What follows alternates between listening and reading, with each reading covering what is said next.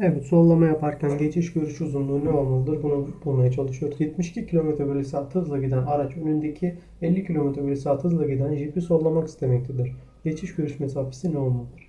Evet, öncelikle takip aralığı D eşittir 8 artı 0,3 çarpı hız ve bu sonucu yani örneğin 72'yi direkt yazıyorsunuz kilometre bölü saat olarak ve sonuç olarak metre olarak bir takip etmesi gereken mesafeyi bize ifade ediyor. Hemen birinci araç için yazarsak ya da öncelikle şeklimizi çizelim. Bakın Jeep önde gidiyormuş. Jeep önde gidiyor. Jeep önde gidiyor. Arkada ise 72 kilometre bölü saatle gidiyor. 50 ile de şu gidiyor. Şuradaki aralık D ne olması lazım? 72 takip etmesi lazım. Şuraya 72 yazarsam hemen çözelim. 8 artı 0 3 çarpı 72 29,6 metre takip etmesi gerekiyor. Şimdi şu araç hop sollayacak şuraya gelecek.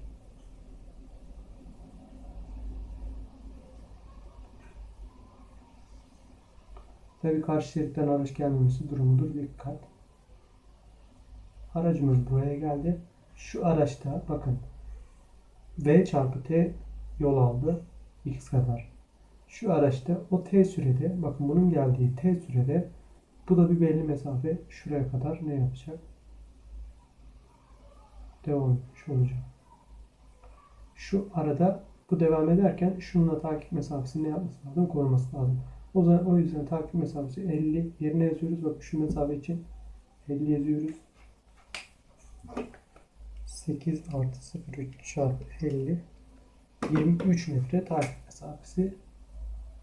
Yani şu 23 metre kalınca şöyle geldi 23 metre olunca şu geçmesi lazım aslında. Hemen diğer şeritte. Ve bakın şu ikisi belli. Şu aradaki mesafe belli değil gibi. Tabi bunun hakkında bir yorum yapamam. Çünkü şuradan yola çıkmam lazım. Çünkü bu aradaki belli. Belli olan nedir? B çarpı T sürede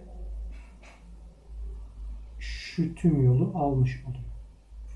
Şöyle L geçiş görüş mesafesi olarak söyleyelim. E 72 hız belli. Saniye belli değil galiba. Olsun biz bir yazalım.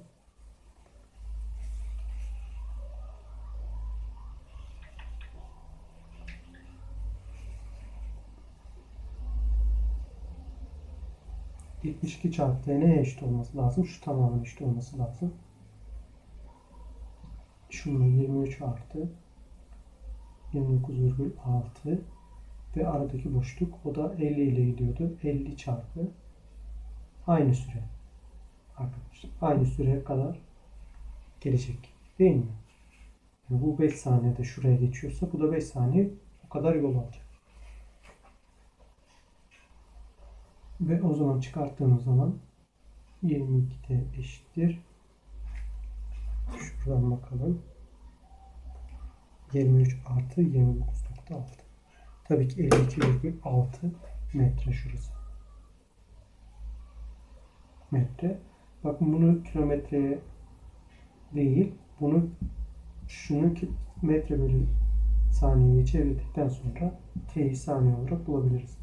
Şunu metre bölü saniye yapmak için kilometre bölü saatine yapıyoruz biz. Şöyle artı 3 metre yaptı.